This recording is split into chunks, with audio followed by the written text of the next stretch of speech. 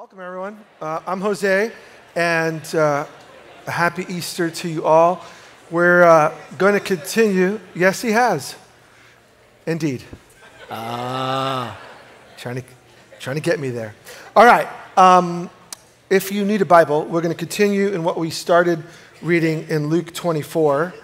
And if you don't own a copy of the Bible, we'd love to put one in your hand. So simply slip your hand up. They'll give you a copy, and we'll go to Luke 24 and uh, we'll continue um, what was started by Lonnie. And verse 13 is where we'll be. So, Luke 24, and we'll start in verse 13. If you don't have a Bible uh, or you prefer this copy, feel free to keep it. If not, just leave it on the chair. We'll pick it up at the end. Um, I'll pray, and we're going to look at the continuation of the resurrection story. Jesus, we do thank you for another day that we get to worship you and to celebrate your faithfulness towards us. Uh, we just confess we wouldn't be here if it weren't for you working and striving and pursuing us because, Lord, we've been selfish. and We've gone our, own way. We've ignored you. We've rebelled against you, and uh, we just want to own up to that. But in your love, we remember that you came chasing and that you sent your son Jesus to provide a way of escape so that we can know you, the living God, and live forever. So thank you for this gift. And Lord, we want to remember it. We want to live in light of it. So help us to see you more clearly. We pray in Jesus' name. Uh, amen. Easter uh, is it's a holiday with like mixed emotions because for some people, it's simply like there's a winter holiday, Christmas, right? And then there's a spring holiday. So it's a time to plant new seeds, do eggs, chocolate, you know, pastel colors. It's my one time a year to wear a color, and it's usually black followed by gray. Uh, but you know, it's just it's just a spring thing, a summer thing, and and that's cool uh, for some. But for others of us here, we see Easter as the highlight of the year because all that God had been doing, and we celebrate what God's doing all year round. But when you look at the Bible, all that God had been doing is leading up to this moment where Jesus would provide a victory, a way of real escape from our real prison of being alienated from God and pushed away from God, not because He doesn't like us, but because we rebel against Him. And so this is like the high point of the year for us. Jesus died and rose again to rescue sin filled people like us. That's what Easter is celebrating, and He accomplished it by proving that life is His to give. Why? Jesus rose again, He's alive, and He still changes our lives. And that's why we're here, right? Some of you are like, yeah, party on, bring it on, like, give me the donuts, I'm ready. And um, for others, though, Easter is just intriguing. It's, it's mysterious. And you may be here this morning, a friend said, Hey, it's Easter. Why don't you come to the church? And thank you for coming. And we just want to confess that there are all sorts of questions around who God is and who Jesus is and what he's done and how to connect with him. And so, could this be real? Hopefully, your eyes will be open to something you didn't know before. If it's real, what do I do with it? What does it mean for like my day-to-day life? Hopefully by coming and listening to various stories this morning, you're going to get a, a, better sense of what God is doing. You just need to know this. If you have questions or you have doubts or you're not sure, you're in a great place. Because as we look at the actual story of what happened, everyone started with doubt and everyone started with questions. And no one, hear me, no one in the early account believed, except a few women, which says a lot about life. They were the first ones to recognize what God is doing. They were the ones who got it. The angel said to them, He's not here. And, and they took God's witness as true. But the rest of the guys were slow to believe and they needed evidence. And if you're here this morning and something hasn't clicked yet, that's not bad on you. Well done for asking good questions. What we want to do is think about what Easter means and if this is real, what this can mean for your life. Uh, in order to do that, let's just read about this first early encounter. Jesus is just risen. And now, Luke 24, verse 13, in your Bible or if not, you can look on the screen. Now, that same day, two of them were going to a village called Emmaus, about seven miles from Jerusalem, and they were talking with each other about everything that had just happened. That's like Good Friday, the cross and the burial of Jesus. And as they talked and discussed these things with each other, Jesus himself came up and walked along with them, but they were kept from recognizing him.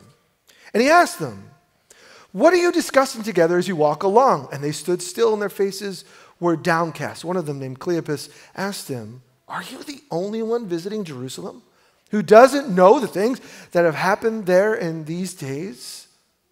And I love Jesus. What things? He asked.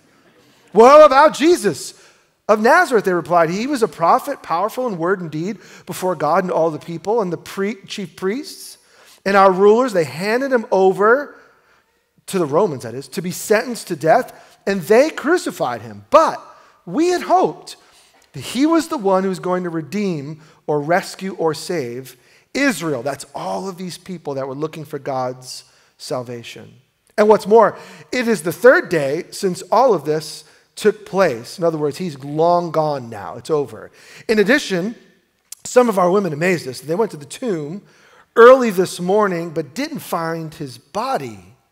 They came and told us that they had seen a vision of angels who said he was alive. Then some of our companions went to the tomb and they found it just as the women had said, but they didn't see Jesus.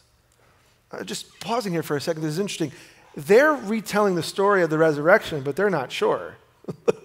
They're like just saying, here's what's happened, and we don't even know what to make of it.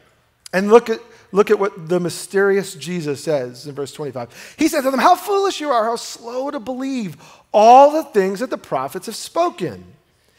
Did not Messiah have to suffer these things and then enter his glory? Then, beginning with Moses, which is the first five books of the Bible, and all the prophets, which he just continues through the rest of what they had in their Bible, he explained to them what was said in all the scriptures concerning himself. And mind you, they don't know it's him yet. As they approached the village uh, to which they were going, Jesus continued on as if he was going to go further. But they urged him strongly, No, stay with us. It's nearly the evening, the day is almost over. So he went in and he stayed with them. And when he came at the table, when he was at the table with them, he took bread and he gave thanks and he broke it and began to give it to them. Then their eyes were opened and they recognized him and he disappeared from their sight.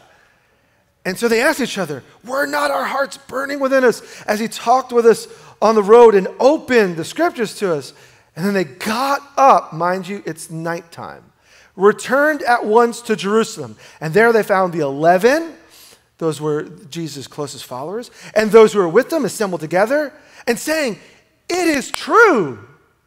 The Lord has risen and he's appeared to Simon. And then the two told what had happened on the way and how Jesus was recognized by them when he, when he broke the bread. I think this is going to be so helpful for us here in church 2,000 years later as we're looking at the Bible, the scriptures, and as we're trying to figure out what that meant to them and what this means to us. I think this morning I want us to capture a bit of surprise. The problem with knowing the end of a story, if you want to kill a good story, read the last chapter first and then go back to the beginning. You know, like just read the end where it all comes to conclusion, then go back to the beginning. It's like, oh, it's gonna, especially if it's a mystery, it's just gonna, it's gonna kill it because something happens as a story unfolds. Well, this really happened. And the problem for us in getting it is we've heard it so often and we think we know. We think we know it. And that's what I want us to get at. There is a surprise here. And I want to think for just a couple of minutes about the surprises they were experiencing.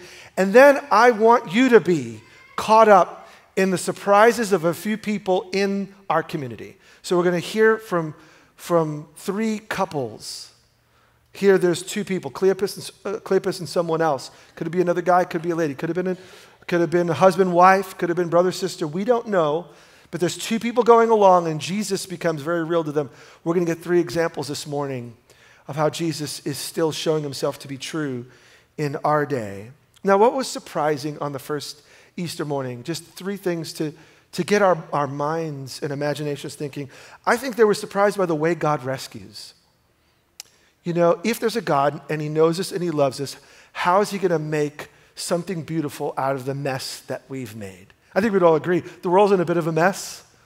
Our lives are messy, our workplaces are messy, our schools are messy, And we have these dreams of everything being better, right? But how, if there's a God, then how is he going to bring it back? How is he going to take messy things and put the pieces together again? And what surprised them was the very way that God has chosen to save us. Remember, they had their Bible, so all Jesus did was point to the things that he had said over hundreds of years, even thousands of years, that had been leading up. You know, we need to remember that all of the Bible, the beginning to the end, it all points to one great act of rescue in Jesus. The whole center of the story is Jesus. It's not the garden at the beginning where God makes man and woman. It's not the pages after where we make complete messes of our lives. It's not even that God continues to send messengers, prophets in their case, messengers to warn us and remind us God loves us. God loves you, but you can't just reject Him and expect things to work out. And that's what we want. We want life on our terms, and when we're in total chaos, we want God to step in. And so God lovingly warns us I'm calling you, I'm calling you. My way is the better way. My life is the better life. Why don't you listen? And in the end, when we look at the whole of the Bible, what Jesus reminds us is He is the center. All of these things, He says, are pointing to me. So Jesus says to them, Did not the Messiah, verse 26, have to suffer these things and then enter His glory? In other words, the, the resurrection shouldn't be a surprise. God had been hinting at what's going to happen, and now you've seen it happen. So, beginning with Moses and the prophets, all Jesus does is connect the dots. And this morning, I just want to encourage you there may be some dots that haven't connected yet. Well done for coming. I encourage you, if you came with a friend or a family member, ask those questions because guess what? There are real answers. This isn't blind faith. We don't just blindly believe something on a page, there's evidence that's been given to us by God Himself that Jesus is the promised one to come and that Jesus alone died and rose again to set us free. Life for life. The wages of our sin, what we deserve when we rebel, is to be alienated, moved away from a God who's perfect.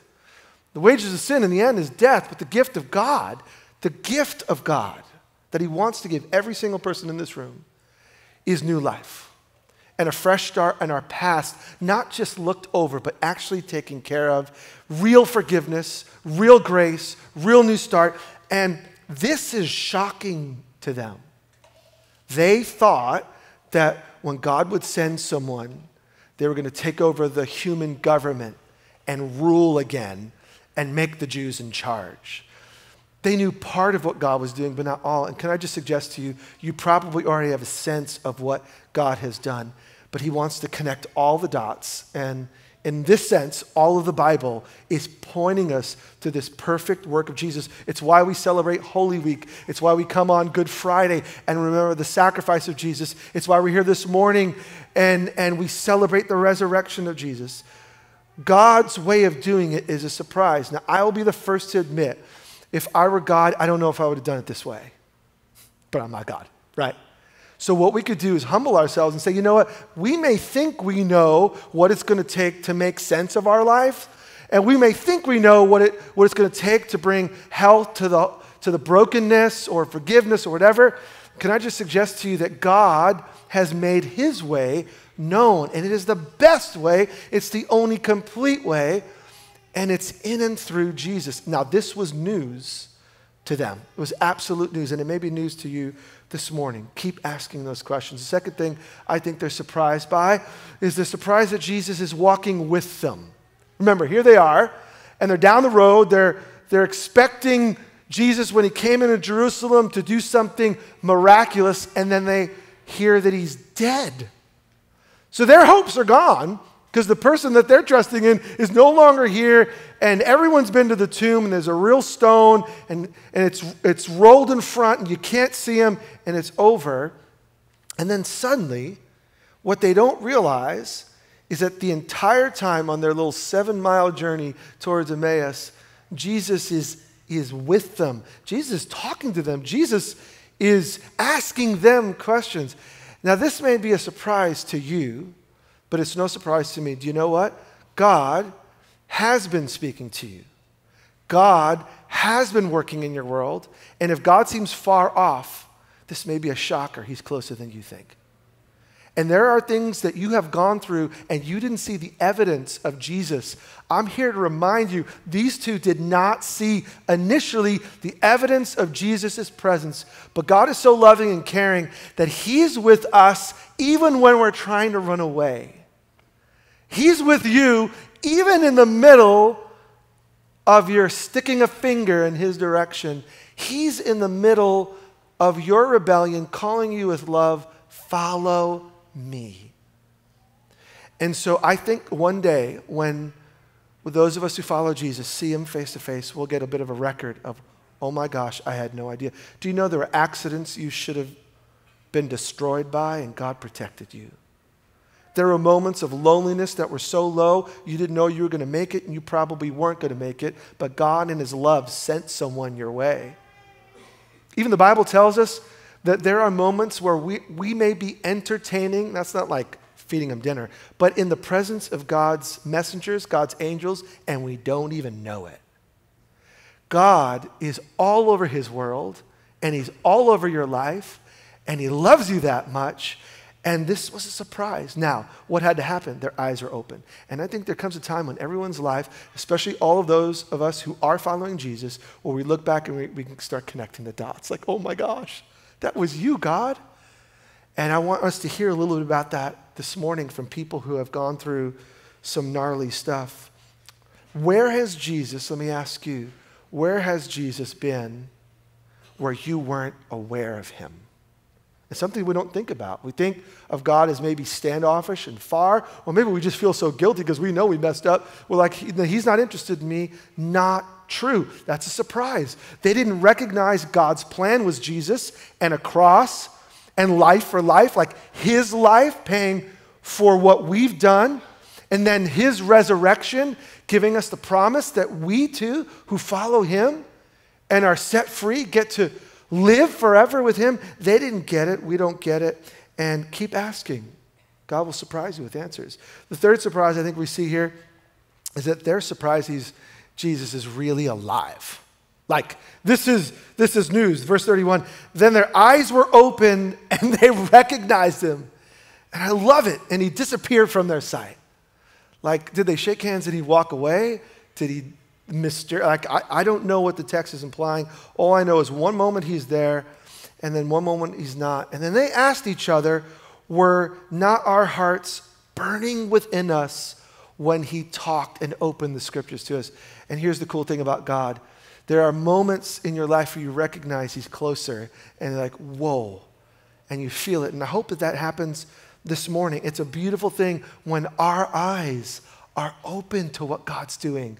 And that's why we celebrate not just once a year the victory of Jesus and the cross and the resurrection, but we celebrate every week. And in homes, we celebrate in the middle of the week. And we wake up in the morning, we read the scriptures and we talk to God because Jesus is really alive.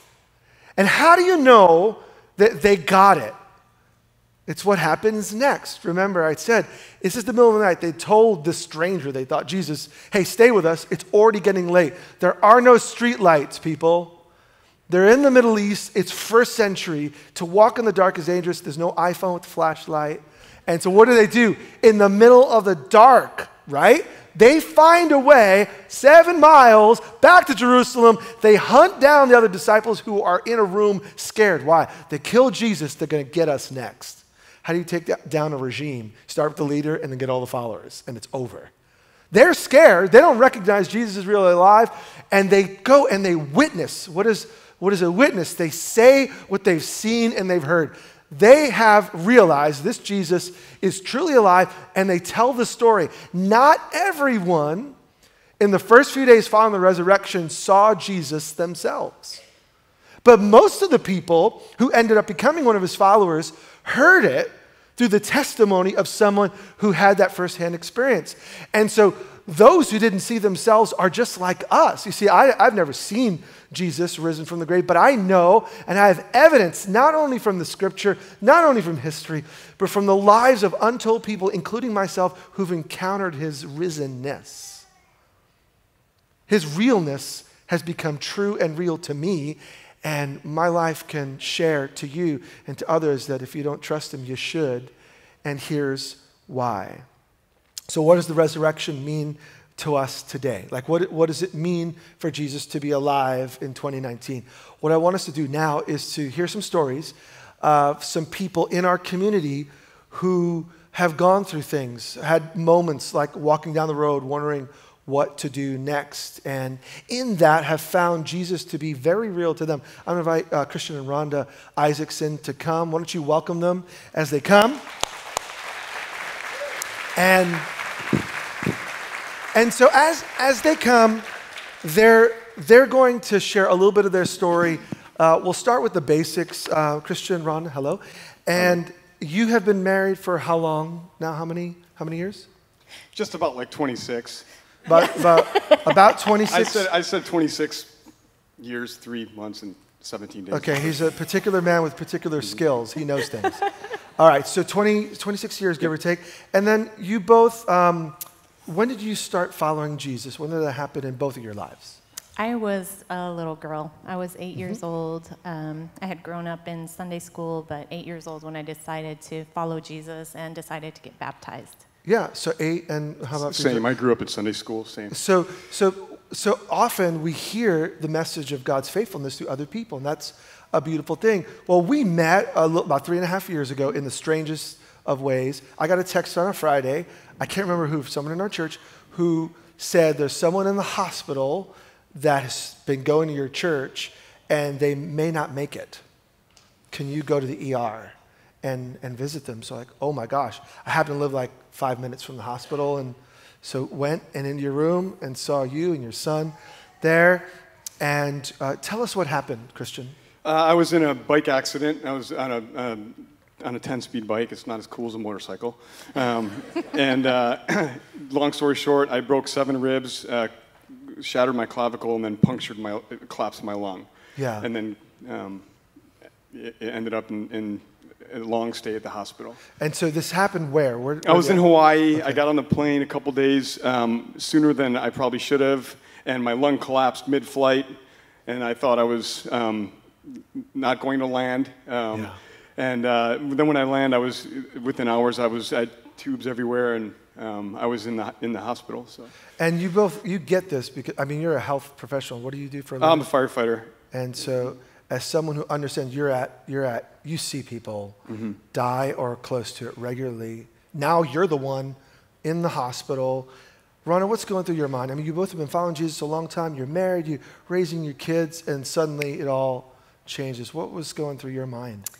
Uh, well, this was definitely one of those times when your eyes are open to see, like, what are you doing, God, after just countless hours of preparation for the race and um, being close to taking over third place and just the excitement of doing really well um, to crashing yeah. and ending up in, in the hospital where I just I, I felt devastated for him just for the disappointment of being pulled from the race and then um, just as a wife feeling helpless watching your husband suffer and then i mean broken ribs is a really painful yeah. injury and um, so it was just really really a difficult time to watch him go through that and you say a race maybe and i lost he, like he was on a 10 he, he was on a 10 speed okay what was the race uh, I was racing the Ultraman World Championship in Kona. Uh, what, what is the Ultraman? The Ultraman is a six mile swim, a 270 In the mile... ocean.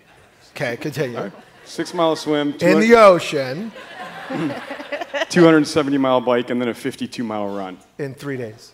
So you've trained all this energy, you're exhausted, you crash on the course. Mm-hmm.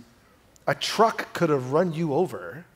Correct. And then we're in the hospital and you don't know. So, uh, in the process, because it happened now three, three years ago. Three years ago. Yep where have you seen Jesus? Because I think at moments, like the two on the road, it seems like, God, what have you done? Where, where, what are some ways that you've seen Jesus at work? Um, I think for me personally, uh, I came to the con- not come to the conclusion, but I realized in, in, something that I felt like I was given a gift to do. Um, I don't think that there's anything that God consider that we would consider too important that He won't use to have us draw closer to Him. Yeah. Um, and that was what I found um, at night um, in the emergency or in the ICU when I was in there. Uh, as I had doctors telling me, "You're never gonna, you're never gonna have a left lung. My lung wouldn't inflate. You're never gonna. Ha- you're, you're, things are not going to be the same for you again." Um, I just really felt. Um, a sense of peace. And, and, and, and honestly, at that time, we had, we had just come to the church. You know, we'd been here for six months, and I think God used the, the, the people in the, in the community here to really love on us in a way that we only we could only know that it was Christ sending his comfort to us, yeah. um, being new, new, new to the community. And you know, as, as a wife and a mom, um, you get these moments where you realize my husband may be gone. And uh, out of that, where did, where did Jesus make a difference? Did you sense his presence? How, how did that become real yeah, to you? I definitely um, did feel just a sense of peace. While he is in the hospital thinking these thoughts of like, oh, I might not pull through this, I don't remember having that fear. Yeah. I feel like um, so many people were just praying for me, and I had faith that he would be healed. There were still enough questions about what the future would look like as far as going back to work and right. mm-hmm. um, just how he would recover uh, to keep me close to God, to keep me praying and to keep me um, just seeking His presence. And I, I, was really bolstered by the prayers and just the, the thoughts and the kindnesses shown to us by this community. Even though we were pretty new here at this church, yeah. there was just an outpouring of support and visits and food. And um, I'm really thankful for this family. Whereas Jesus at work, he's in work in the lives of the other people around us. It's interesting. We see God at work through his own people who follow him. And so, in the end, um, you were doubting you'd ever race again.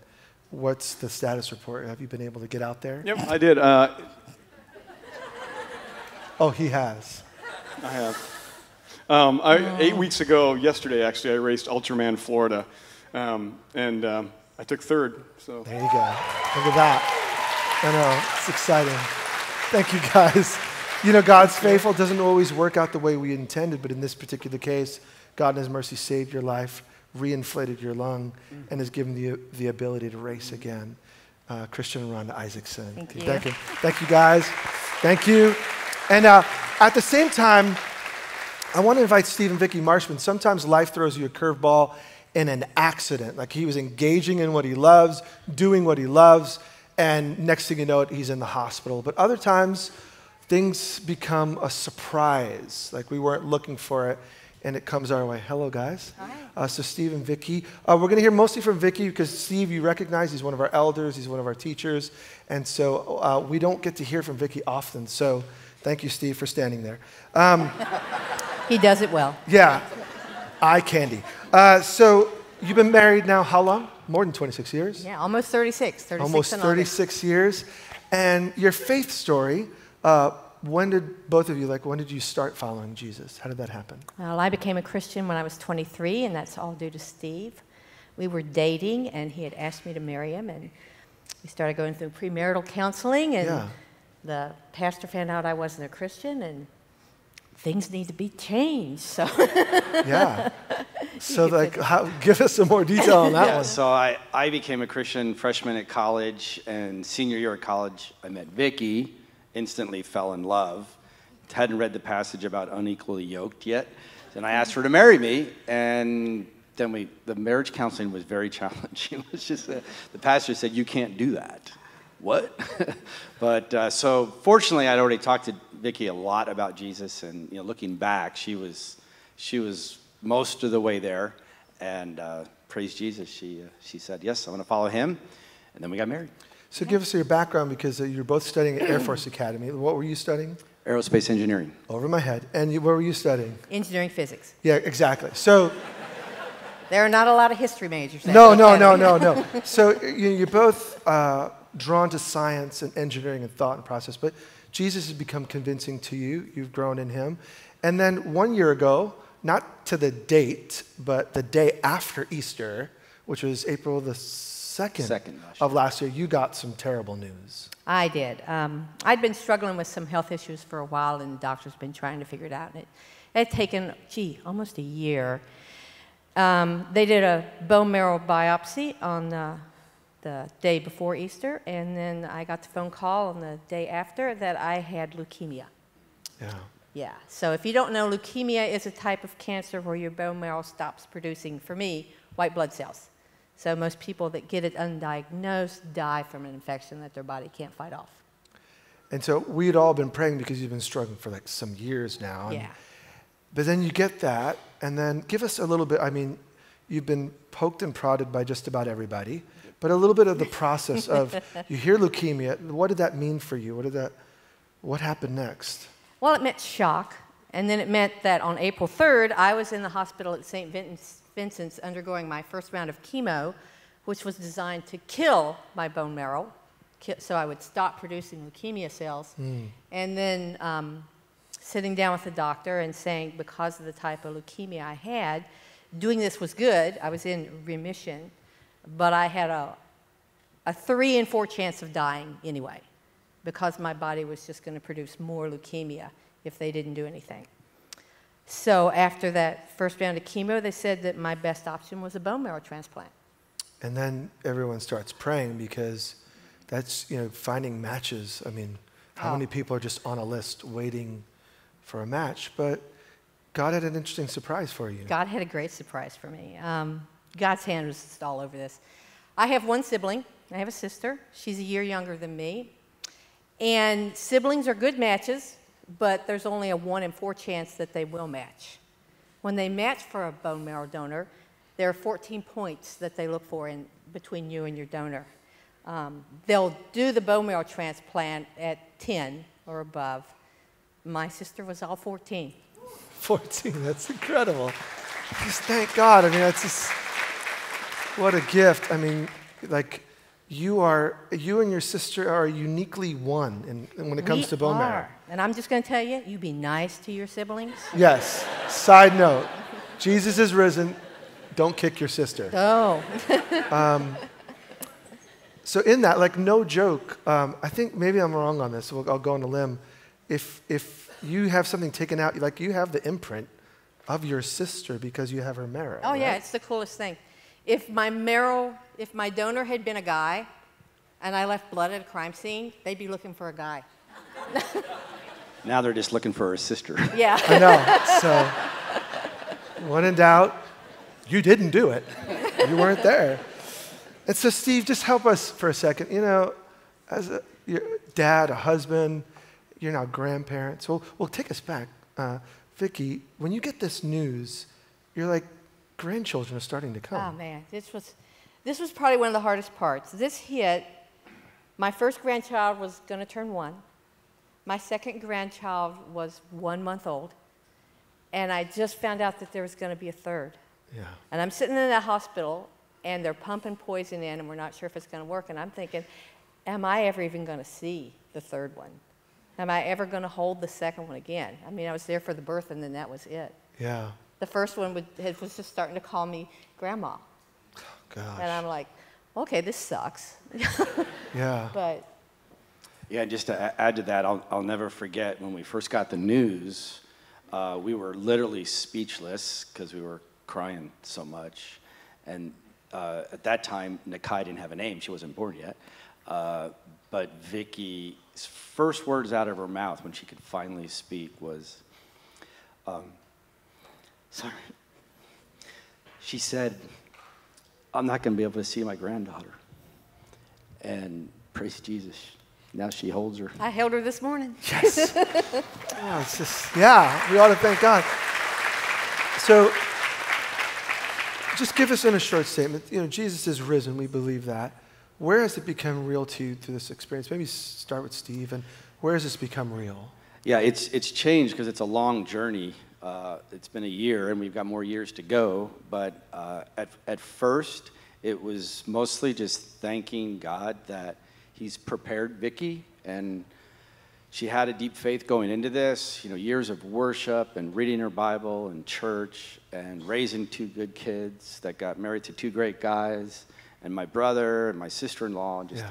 all this around us that we were we were prepared because of, of our faith not that we had any great faith but but we had a faith going into it And then over the, over the year, what started to become really, really obvious to me is that faith is contagious.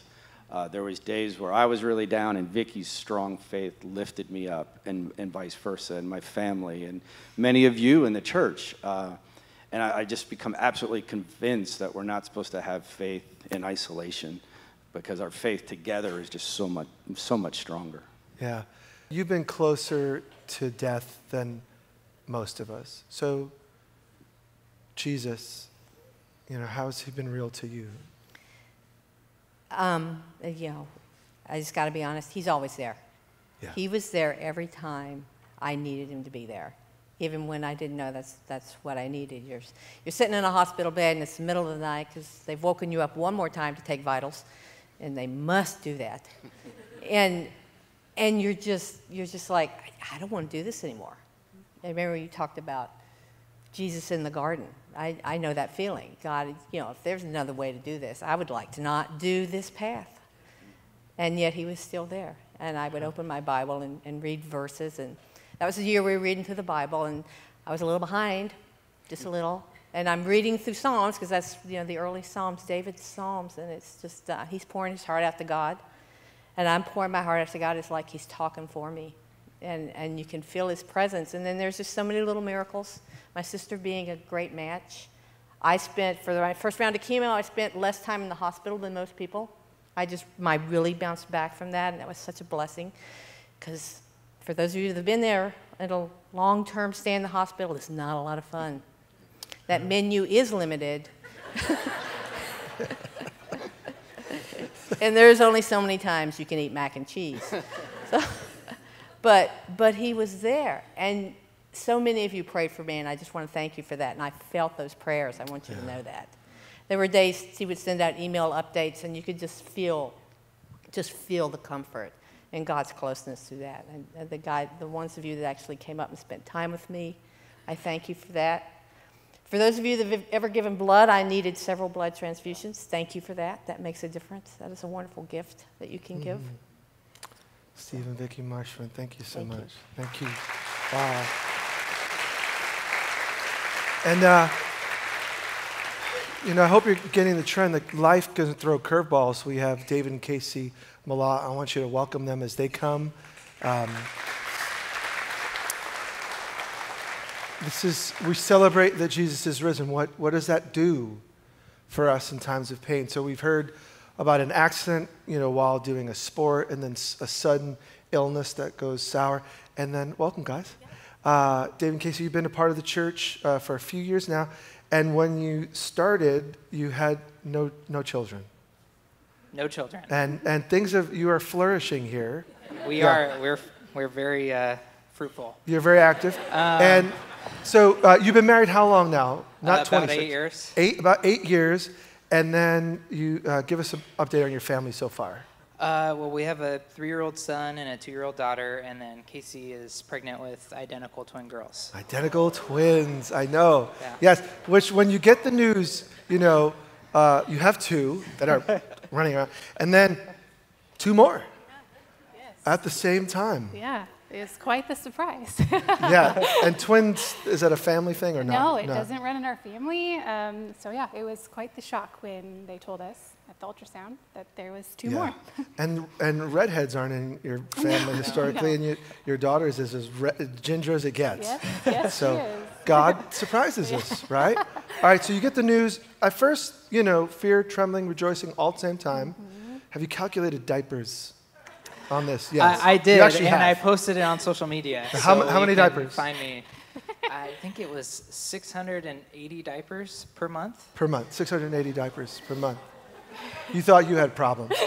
so, um, all right, you, you're moving along, and the doctors have to check on you with twins. Yes. And what did you find yeah, out? Yeah, so um, with the nature of having twins, you have a lot more appointments. Um, so at my 17-week appointment, they did an early anatomy scan of both the girls. Um, well, and yeah, they're girls. Um, and we were told two things. It was a pretty heavy appointment at that point.